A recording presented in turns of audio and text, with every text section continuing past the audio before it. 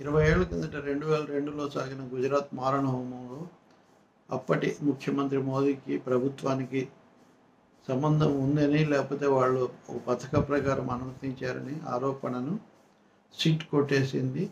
అయినా మీరు కొనసాగించటం దురుద్దేశపూర్వకమని సుప్రీంకోర్టు వ్యాఖ్యలు చేసింది. ఎన్జిఓలు అలాగే కొంతమంది కార్యకర్తల మీద.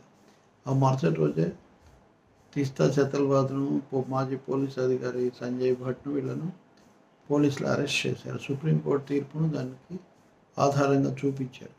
ఇది దేశమంతటిని కూడా దిగ్భ్రాంతపరిచింది. అది అయిన తర్వాత ఒక మూడు వందల మంది మాజీ న్యాయమూర్తులు న్యాయ కోవిదులు వీళ్ళందరూ ప్రధాన న్యాయమూర్తి జస్టిస్ ఎన్వి రమణకు లేఖ రాశారు. ఇది పొరపాటు చీఫ్ జస్టిస్ ఎన్వి రమణకు. ఇది పొరపాటు. మీరు స్పష్టం చేయండి. సుప్రీంకోర్టు స్పష్టం చేయాలి. మా వ్యాఖ్యలు వాళ్ళని అరెస్ట్ చేయడానికి ఉద్దేశించినవి కావాలని స్పష్టం చేయాలి. ధోరణి. సుప్రీంకోర్టు న్యాయమూర్తిగా పనిచేసిన మదన్ లాల్ బి. లోకూర్ కూడా ఆ విధమైన వ్యాసమే రాశారు. అది దాని మీద ఏం స్పందన లేదు కానీ ఇంత లోపల సుప్రీంకోర్టు బీజేపీ మాజీ అధికార ప్రతినిధి నూపూర్ శర్మను అభిశంసిస్తూ లేకపోతే అమిత్ తీవ్ర వ్యాఖ్యలు చేశారు. ధర్మాసనం జస్టిస్ సూర్యకాంత్. ఈ వ్యాఖ్యలు చాలా అభ్యంతరకరమైనవి. సుప్రీంకోర్టు తన పరిధి లక్ష్మణ్ రేఖ దాటిందే అంటూ మొత్తం ఒక పదిహేడు మంది మాజీ న్యాయమూర్తులు ఇంకా కొంత చాలామంది సీనియర్ లాయర్లు కలిసి ఒక లేఖ రాశారు. దీన్ని చక్కదిద్దాలి ఈ విధమైన వ్యాఖ్యలు చేయకూడదు అంటే ఈ దేశంలో సాగుతున్న కొన్ని హత్యలు వీటికి కారణము దేశంలో పరిస్థితిగా ఆమె నూపూర్ శర్మ.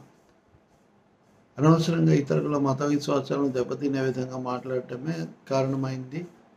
ఆమె క్షమాపణ చెప్పాలి ఎఫ్ఐఆర్ దాఖలు చేసిన ఆమెను ఎందుకు అరెస్ట్ చేయలేదు అని ధర్మాసనం వ్యాఖ్యానించింది. వ్యాఖ్యలు ఇది తీర్పులోను ఆ ఉత్తర్వులో కాదు. ఇది చాలా పొరపాటు అంటారు. ఈ రెండో లేఖ రాసినటువంటి వాళ్ళు ఎఫ్ఐఆర్ దాఖలు చేసినంత మాత్రాన అరెస్ట్ చేయాలని చెప్పడం సుప్రీంకోర్టు ఇదేమో చెప్పి గతంలో చెప్పిన దానికి భిన్నమని.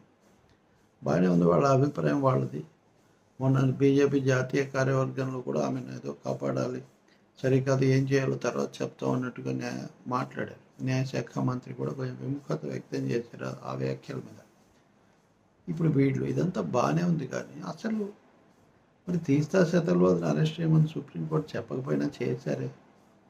దురుద్దేశం పూరితం అని చెప్పడానికి ఏం ఆధారాలు వాళ్ళు చూపించారు ఈ న్యాయ కోవిధులు వాళ్ళేమో అది సరికాదంటుంటే దాని మీద స్పందన లేదు కానీ వీళ్ళు ఇటువైపు నుంచి బీజేపీ కూడా సహించలేక ఆమెను పదవి నుంచి తొలగించాల్సి వచ్చిన పరిస్థితి వాస్తవంగా ఉంటే అంతర్జాతీయంగా కూడా తీవ్ర స్పందనలు వస్తాయి వాటిని పరిగణనలోకి తీసుకోకుండా సుప్రీంకోర్టు చేసిన వ్యాఖ్యలు పొరపాటు అన్నట్టుగా వీళ్ళు లేఖ రాయటం. అంటే దేశంలో మతవాద మితవాద పోకడలు ఎలా పెరుగుతున్నాయి?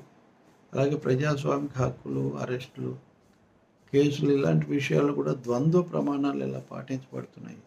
రాజును మించిన రాజభక్తుల్లాగా తయారైన మాజీ ప్రస్తుత న్యాయ కోవిధులు బ్యూరోక్రాట్లు వీళ్ళ పరిస్థితి ఎలా ఉందనేది మనకు ఈ లేఖను బట్టి తెలుస్తుంది. మరి రెండు లేఖల మీద ప్రధాన న్యాయమూర్తి గారు ఎలా స్పందిస్తారో మనం చూడాలి